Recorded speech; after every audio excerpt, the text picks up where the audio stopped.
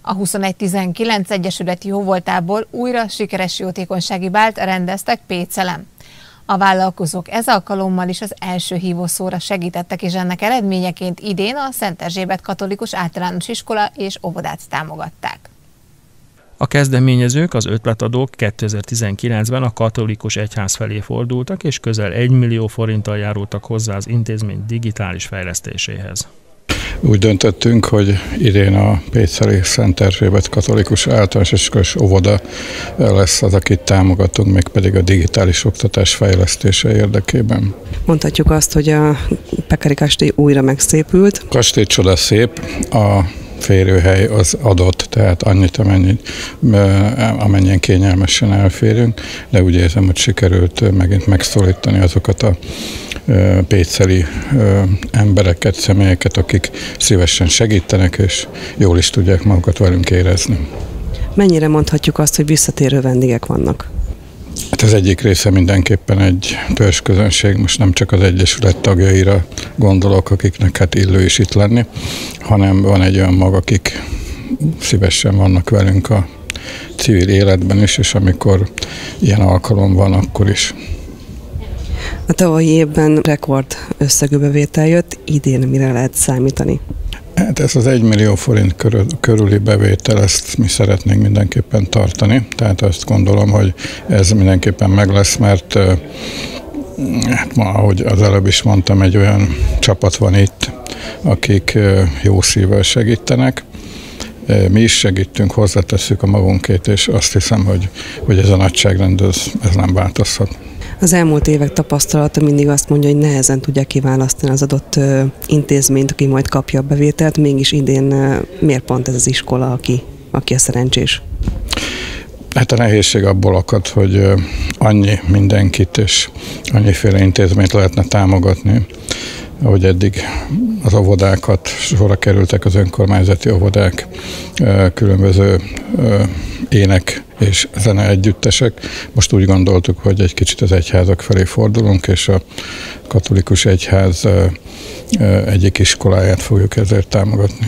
És a mai nap egy különlegesség, hiszen sztár fellépő is lesz, nem is egy, hanem már kettő is.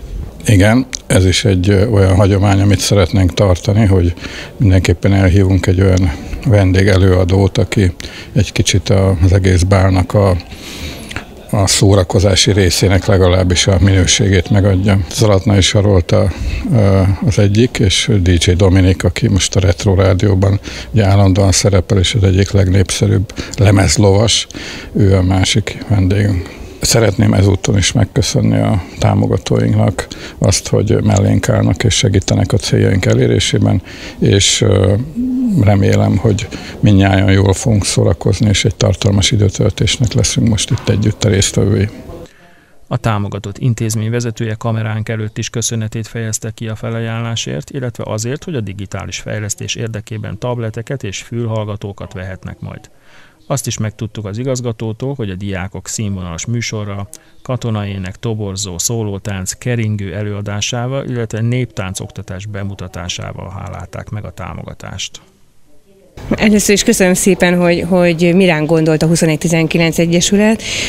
Minden évben szoktak valakit kiválasztani, ami egy nagyon jó kezdeményezés a városban, és idén ugye ránk került a sor, és polgármester, amikor fölhívott, akkor nagyon örültünk neki, hogy, hogy mi kapjuk most ezt a támogatást. Évről évre egyre több gyermek jön hozzánk, jelentkezik hozzánk, és szeretnénk majd iskolát bővíteni, ami az idén most nem valósul meg, mert is a Szegen van egy tagintézményünk, és az bővül most a, a szeptembertől egy, egy, egy nagyobb épülettel, és arra gondoltunk először, hogy ha meg lesz a két új tantermünk, akkor bele padokat és veszünk.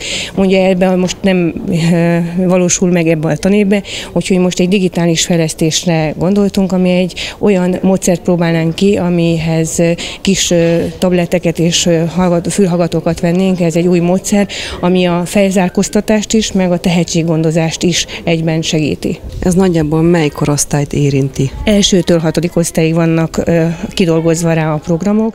Köszönetképpen viszont viszont az iskolások egy kis műsorra készültek. Mi ez a műsor? Mint rendhagyó módon, ugye mindig március 15-én van ez a, ez a báli rendezvény, és ugye mi úgy gondoltuk, hogy március 15-én lesz, ami egy picit elhúzódott. Egy, egy népi dal, katonai neket fognak előadni egy dalcsokrót, utána egy toborzót a, a fiatalok, és a néptánc tanárunk a feleségével pedig egy szólótáncot. Tehát igen, igazából egy kicsit a, a néptánc oktatásunkat mutatnánk be, ami az iskolába a hagyományokra, hagyományokat előtérbe helyezzük, és ezt ebből egy kis ízelítőt adunk a műsorban.